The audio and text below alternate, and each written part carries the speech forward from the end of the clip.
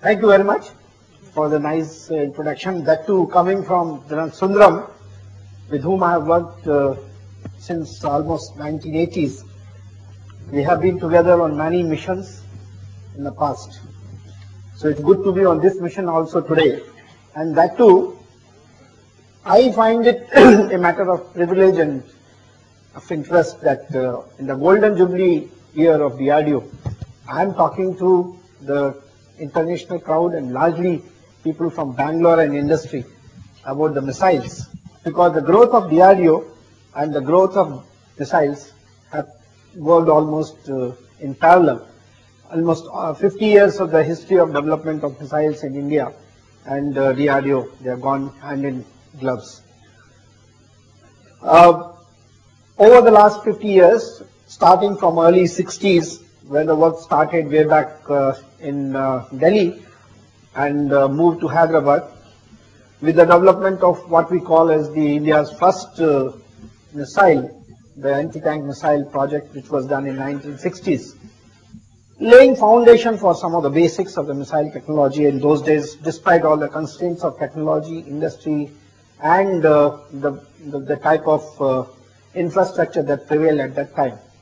Graduating into some kind of a system development into the 70s and finally entering into the era of integrated guided missiles development program and what we are doing today. I thought I'll run through quickly and give you what are the what are the works which we have been doing and what are the challenges lying ahead of us. Can I have the first slide, please? So if you look at uh, look at the whole thing, this particular slide showcases the India's uh, efforts in building missiles over the years, and uh, starting from strategic missiles to tactical missiles, and today's missiles what we are talking of. Uh, they have been uh, in variety. You have the surface-to-surface missiles, you have the surface-to-air missiles, you have all of them, and today's Agnis and Prithvis which are under production, and the new projects which have been taken up, they showcase. If you look at the entire thing, the, the, the basic buzzword here has been the indigenous content. In this whole exercise, the entire process has been to develop indigenously most of the systems as they are required for the missiles, as well as try to produce them in the country. In fact, I am very happy to see many of the partners who have been involved in the building of uh, and Agnis. I see the earlier Mr. Bharadwaj and others, and many of you who have uh, made the task of building missiles in this country a successful one. So, uh, if you see the strategic missiles which are under production today are the Prithvis, the Agnis, which started with the Agni as a technology demonstration in way back in 1989, and a series of Agni missiles which are under production today, Agni 1, Agni 2, and Agni 3.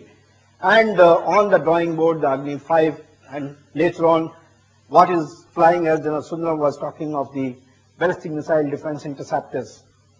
So is the case with the tactical missiles because as part of the integrated guided missiles program, some of these missiles which are under production like Akash being inducted today in the Indian uh, Air Force and uh, the NAG which is subjected to the user trials recently and had very successful run and some of the joint venture projects which we have taken up basically to bridge the armed forces need and what we are in a position to produce in numbers.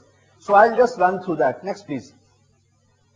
The whole idea of this exercise was to graduate from what was the licensed production culture of 1960s and 70s into an indigenous missile production program. And uh, that is what uh, was envisaged. I want to just mention to you that this slide is not produced yesterday. This slide was produced way back in 1983-84, except for adding HSTDV and Astra, which have uh, happened uh, over the last few years. Practically, this slide is same. And it shows that the indigenous capability in terms of producing these missiles in the country has gone from licensed production to total indigenous production of Prithvis, Agnis, and Akash and Nag missile systems using the Indian industry, the HALs, the Bharat Dynamics Limited, the Bharat Electronics, and a large number of private industries who are participating today in the development and production of these missile systems. Along with this, there has been a tremendous growth in the technology of missiles, starting with the variety of propulsion systems, liquid, solid, as well as ramjet, the associated radar systems for surface to air missiles like Rajendra where you have phased array radars, capability to handle multiple targets and so on, and also the accurate inertial navigation systems which are needed for building the uh, accurate surface to surface missiles all have seen the development over the years. Next please.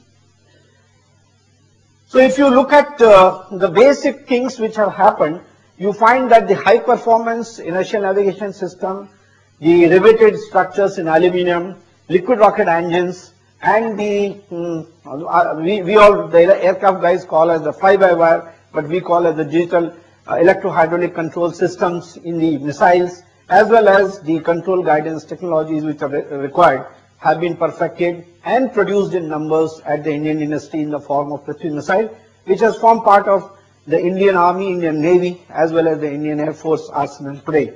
And uh, we could even do what is today's Dhanush, which could be which could be launched from the, the, the deck of a ship, where a five-ton class of missile could be stabilized with the help of electro-hydraulic actuators with a verticality of plus minus 0.5 degrees in the sea state 4 kind of a launching situation.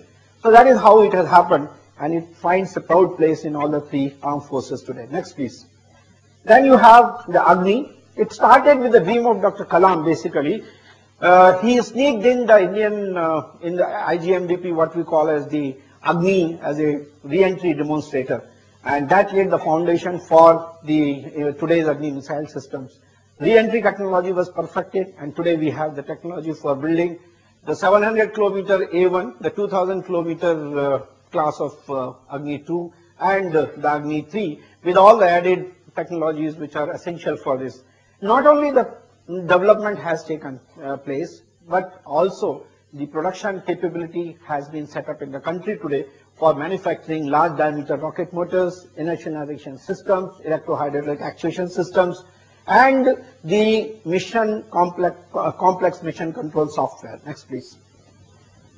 Akash is one of the most complex systems what we have built today because it has some of the advanced technologies in terms of integral ram rocket system which uses a fuel rich propellant to give you a very high what we call as a weight and volume advantage and uh, can handle large number of missiles simultaneously and uh, it can also have uh, very low flying targets as well as uh, the high flying targets engaged.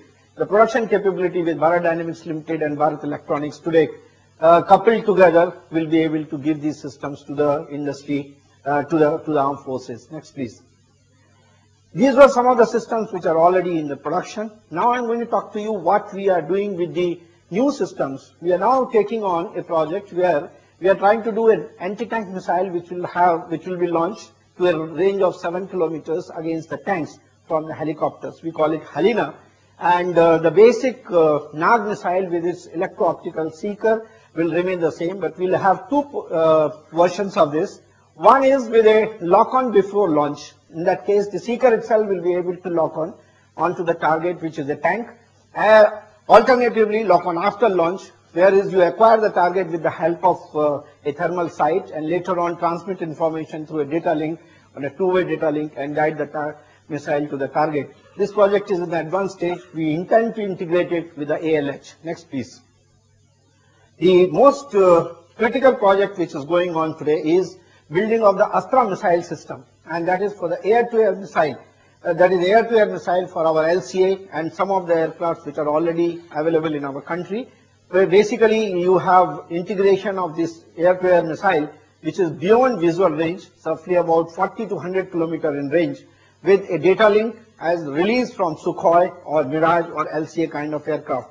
One of the very sleek systems with very high G level of capability and integrated with a uh, what we call as the uh RF homing head for the terminal guidance which is being developed in this case.